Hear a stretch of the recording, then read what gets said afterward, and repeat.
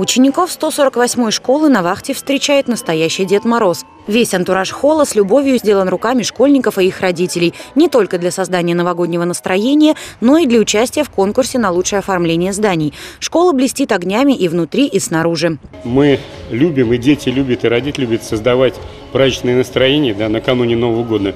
Поэтому э, мы воодушевленные, готовимся к встрече Нового года, который э, Новый год всегда ассоциируется с новыми Э, как бы э, ожиданиями, да, и так далее, э, выполнениями желаний, да, поэтому я думаю, что все, что задумано, здесь должно все сбыться.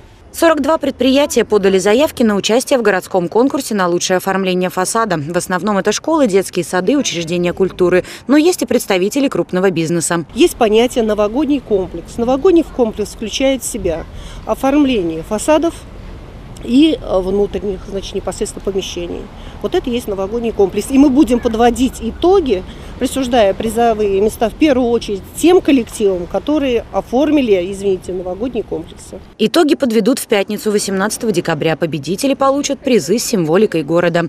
Марьяна Мирная, Максим Гусев. События.